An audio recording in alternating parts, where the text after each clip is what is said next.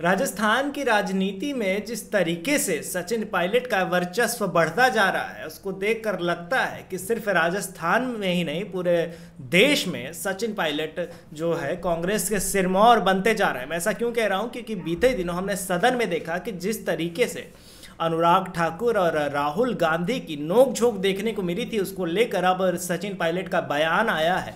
क्या है वो बयान? आपको बताएँगे। विस्तार से बने रहेगा हमारे साथ आखिरी तक। नमस्कार, मेरा नाम ऋषभ है और आप देख रहे हैं संवाद भारत का, भारत के लिए। राजस्थान में जिस उपचुनाव होने वाला है, इसमें सचिन पायलट काफ़ी जो है एक्टिव दिखाई दे रहे हैं। इस बीच हमने सदन में देखा कि राहुल गांधी और अनुराग ठाकुर की नोक झोंक देखने को मिली, जिस, जिसको लेकर सचिन पायलट ने भी अब बयान दिया है। कि आप सिर्फ़ सदन में नोक झोंक करने के लिए कहते हैं?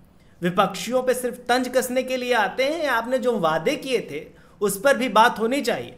जिस तरीके से दो महीने में रेल हादसे हुए, उसको लेकर आपका कोई बयान नहीं है, आपकी कोई कार्रवाई नहीं हुई। एमएसपी का वादा किया आपने, उस पर कोई कार्रवाई नहीं की गई। आपने युवा बेरो, जो बेरोजगार हैं, उनको रोज़गार देने का वादा किया था उस पर कोई कार्रवाई नहीं हुई। 2014 में जब आपकी सरकार बनी थी तो आपने वादा किया था कि हर साल दो करोड़ नौकरी देंगे, उस वादे का क्या हुआ?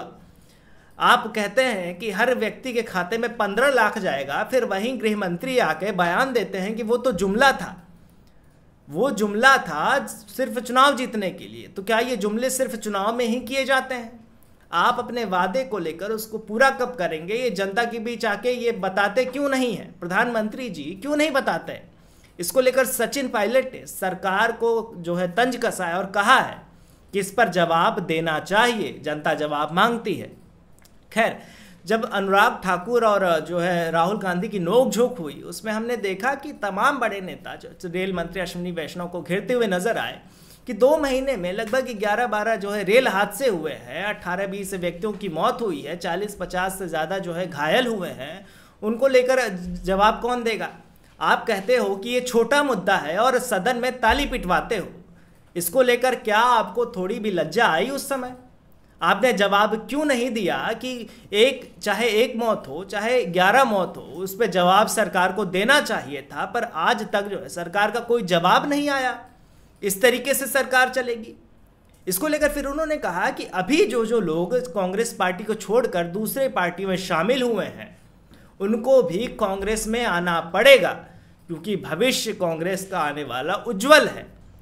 इसको लेकर उन्होंने बयान दिया और कहा कि चाहे जो नेता अभी हमने देखा कि कुछ नेता ऐसे हैं जो पहले तो कांग्रेस में थे, फिर वो इस्तीफा देते हैं, फिर बीजेपी में जाते हैं, फिर बीजेपी से भी इस्तीफा देते हैं। अब खबरें ये आ रही हैं कि वो फिर से जो है कांग्रेस में शामिल होने वाले हैं, जिसको लेकर किसी के बिना किसी का नाम लिए सचिन पायलट ने कहा है कि जिस तरीके से नेता हमें छोड़कर गए थे, अब फिर उनको यहीं वापस आना पड़ेगा, क्योंकि बीजेपी में नेताओं की जिस तरीके से दुर्दशा होती है वो हम सबने देखा है किसी से छुपा नहीं है। यही कारण है कि जो नेता यहाँ से जो है हटकर दूसरे पार्टी में जाते हैं, वो फिर इसी पार्टी में आ जाते हैं। यही सबसे बड़ा कारण है, पर इसके अलावा जो मुद्दे हैं, हम सदन में किस लिए जाते हैं, मैं जनता किस लिए चुन के भेजती है, क्या इसलिए कि हम जाति पे बात करें, हम एक दूसरे पर आरोप प्रत्यारोप करें, या इसलिए कि जो मुद्दे हैं वहाँ के, उन पे बात करें। जो युवा बेरोजगार है, वो अपनी मांगे कर रहा है, उसकी मांगों को पूरा कब किया जाएगा? इस सवाल का जवाब कौन देगा?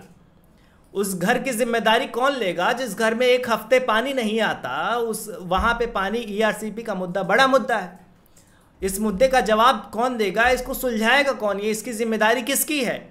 चाहे राजस्थान में हम भजनलाल सरकार को देखें, चाहे केंद्र में मोदी सरकार को देखें, क्या ये जो सारे वादे किए थे, इसको भी हम जुमला समझें?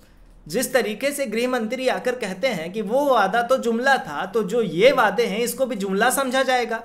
अगर हर वादे, जो वादा किया जाता है, वो जुमला ही है तो फिर वोट किस आधार पे आपको मिलेगा? आप एक पंचवर्षी में तो जो है जुमला, जो वादे पूरे करते हो, उसको जुमला कहकर वोट पा सकते हो।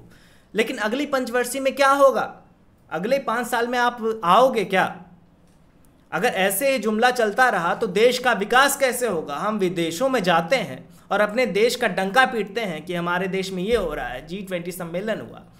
पर देश की जो आर्थिक स्थिति है, उन्होंने जो है अस्सी करोड़ लोगों को जो राशन दिया जा रहा है उस पर भी बात की कि आप कहते हो कि हम जो है विकसित देश होने वाले हैं, पर उसी देश में आपको 80 करोड़ लोगों को राशन देना पड़ रहा है। हालाँकि ये कहीं से बुरी बात नहीं है, पर जो उसके अलावा भी मुद्दे हैं, उनको क्या हम जुमला समझेंगे? अगर यही तरीका रहा तो सरकार को जो है, हम घेरेंगे, इस पे अनशन करेंगे। इस मुद्दे को उठाएँगे, युवाओं के मुद्दे को उठाएँगे और सरकार से इसकी मांग करेंगे कि प्रधानमंत्री जी को खुद आके इसको इसका जवाब देना चाहिए। हमने देखा कि सचिन पायलट अपने विरोधियों पर भी कभी भी अपशब्द का प्रयोग नहीं करते। उन्होंने जयपुर जब वो आए तो अपने भाषण में उन्होंने कहा कि आप मेरा एक भी वीडियो दिखाइए जिसमें मैंने अपने विरोधियों को, चाहे उन्होंने कुछ भी बोला हो उनके बारे में, पर उनके लिए सचिन पायलट ने कभी भी अपशब्द का प्रयोग नहीं किया। यही कारण है कि बाकी नेताओं से ये सचिन पायलट को बात अलग बनाती है कि वो जिस तरीके से शालीनता से नज़र आते हैं, वो बेहद सबको पसंद आती है। यही कारण है कि सिर्फ़ राजस्थान में ही नहीं, पूरे देश में सचिन पायलट की पॉपुलैरिटी बढ़ती जा रही है। खैर, इस मुद्दे पर आपकी क्या राय है? हमें कमेंट में ज़रूर बताइए और देखते रहिए संवाद भारत का, भारत के लिए।